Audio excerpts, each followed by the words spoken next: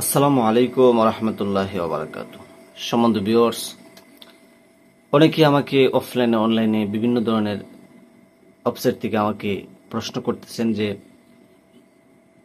কেউ যদি রাগের মাথায় তালাক দিয়ে দেয়, স্ত্রীকে রাগের মাথায় তিন তালাক দিয়ে দেয়, তাহলে কি সেটা তালাক হয়ে যাবে? রাগের মাথায় তালাক দেওয়ার পরে যদি সে ভুল বুঝতে পারে যে আমি রাগের মাথায় তালাক দিয়েছি, আমি স্ত্রীকে নিয়ে সংসার করব, তাহলে কি সে সংসার করতে পারবে? এ বিষয়ে বিভিন্ন ধরনের প্রশ্ন আমার কাছে আসতেছে। এর সমাধান কি? তো সম্বন্ধ ভিউয়ার্স এর সমাধান আমি এই মুহূর্তে ইসলামিক সরাসরিয়ত মোতাবেক আমি দেওয়ার চেষ্টা করব ইনশাল্লাহ ভুল ত্রুটি কমার দৃষ্টিতে দেখবেন। তো সম্বন্ধ ভিউয়ার্স শুরু করার আগে আপনাদের কাছে একটু অনুরোধ করছি, যদি চ্যানেলে নতুন হয়ে থাকেন, তাহলে অবশ্যই চ্যানেলটি সাবস্ক্রাইব করে বেল আইকনটি চালু করে রাখবেন। তো সম্বন্ধে ভিউয়ার্স মনে রাখবেন, যদি কেউ স্ত্রীকে তালাক দেয়, আমি যদি আপনাদেরকে একটু প্রশ্ন করি, যে মানুষ তালাক কখন দেয়? তো আপনি এই উত্তর দিতে বাধ্য যে একটা স্বামী স্ত্রীকে তখনই তালাক দেয় যখন স্ত্রীর উপরে অধিক পরিমাণে রাগ, অভিমান রাগান্বিত হয় এবং স্ত্রীর উপরে অনেক বিরক্ত হয়। বিরক্ত হয়ে রাগে রাগ রেগে যাওয়ার পরে তালাক দেওয়া হয়।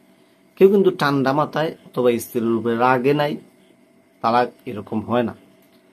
তো যেহেতু রাগের মাথায় স্বামী স্ত্রীকে তিন তালাক দিয়ে দিল, তো স্বামী পরে বুঝতে পারল, আমি রাগের মাথায় তালাক দিয়েছি, অথচ আমি কিন্তু ইচ্ছাকৃতভাবে দেই নাই, রাগের মাথায় দিয়ে দিয়েছি। এখন কি আমি সংসার করতে পারব কিনা? তো এর সমাধান হচ্ছে, স্ত্রীকে আপনি তিন তালাক দিয়েছেন, রাগের মাথায় দেন বা যে কোনোভাবে দেন, মজা করে যদি বা ফানি মজা করে যদি আপনি স্ত্রীকে বলেন, তোমাকে এক তালাক, দুই তালাক, তিন তালাক, মজা করে যদি বলেন তারপরেও তালাক হয়ে যাবে।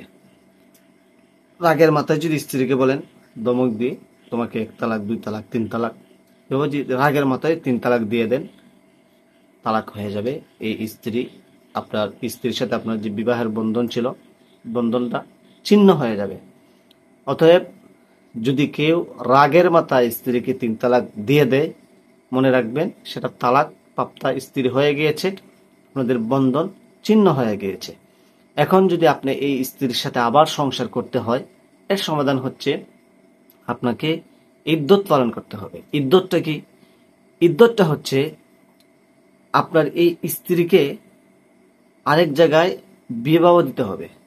আরেক জায়গায় স্ত্রীর বিবাহ হতে হবে এবং বিবাহ হলে সেই আরেক স্বামীর কাছে কমপক্ষে চল্লিশ দিন তার কাছে থাকতে হবে, তার সংসার করতে হবে এবং শারীরিক মিলামিশাও তার সাথে হতে হবে এবং কোনো চুক্তি করা যাবে না।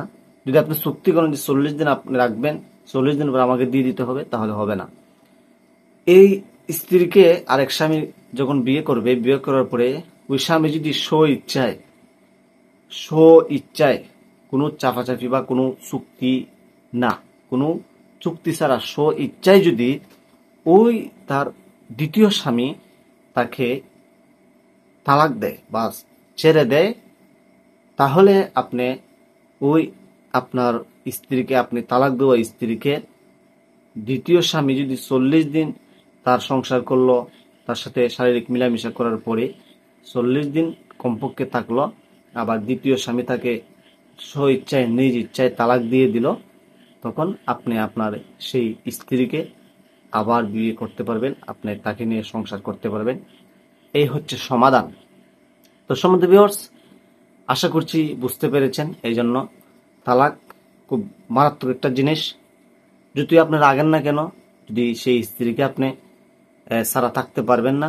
তাহলে আমি বলব, রাগের মাথায় কখনো স্ত্রীকে তালাক দিবেন না, তিন তালাক দিয়ে দিবেন না, অথবা মজা করে, মজার বশত মজার ছলে স্ত্রীকে তিন তালাক দিলেও সেটা তালাক হয়ে যাবে। আশা করছি বুঝতে পেরেছেন, তালাক বিষয়টি খুবই খুবই গুরুত্বপূর্ণ এবং তালাক বিষয়টি খুবই মারাত্মক ডেঞ্জারাস একটি বিষয়। এই জিনিসটা এগুলো মাথায় রাখতে হবে অবশ্যই। রাগের মাথায় তালাক দিলে তালাক হয়ে যাবে, এমনকি মজা করে তালাক দিলেও তালাক হয়ে যাবে। এটা হচ্ছে ডিসিশন এটাই হচ্ছে ইসলামিক সরিয়া সরা। তো সম্বন্ধ viewers, আশা করছি যারা তালাক নিয়ে আমাকে প্রশ্ন করেছিলেন প্রশ্ন জানার জন্য আমাকে অনলাইনে অফলাইনে বিভিন্ন ধরনের থেকে রিকোয়েস্ট করছিলেন আশা করছি বুঝতে পেরেছেন।